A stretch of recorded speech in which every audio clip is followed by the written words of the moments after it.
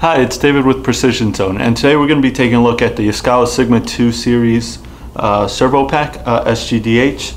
And uh, to find the, the failure information for these, you're going to want to look at the 7 segment display on the front of these drives, or if you have a handheld digital operator, you can take a look at it from the side. Uh, this is just going to be a quick overview about some of the alarms, so uh, any alarms that aren't on here, if you're looking for more troubleshooting, please contact Precision Zone. All right, so we're going to start with some of the soft alarms that, that are on here. You're going to get uh, alarms 2, alarm 4, alarm 5. Those are some of the alarms that you can get on these drives. Uh, those usually indicate uh, a problem with corrupted data or possibly parameter settings.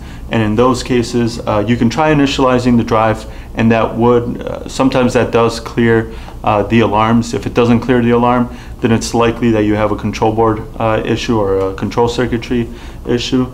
Uh, on that same topic, other control circuit issues that you can have uh, would be alarms 3 and alarm CPF00, CPF01. Uh, in the majority of those cases, uh, it's going to be a problem with the control circuitry in the drive uh, and it would need repair.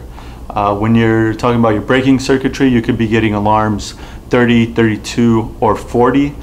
those typically in indicate a failure in the regen circuit of the drive and that could be a result of uh, that can also be caused by uh, your regen resistor being disconnected or being burned out uh, and that can happen uh, from various different things. Uh, you want to make sure that it's that the drive is professionally evaluated uh, before just replacing that regen resistor as a regen circuit failure could have been the cause of that failure.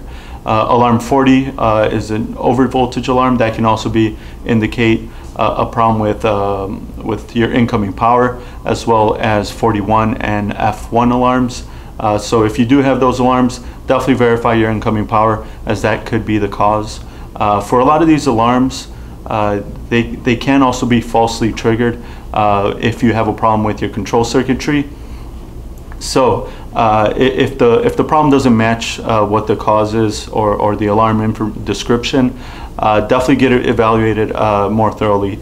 Our, our, professional technicians are trained uh, to recondition these drives and test them in our custom-built simulators along with our machines, and they do come with a 12-month warranty uh, for all our repair, sales, and exchanges.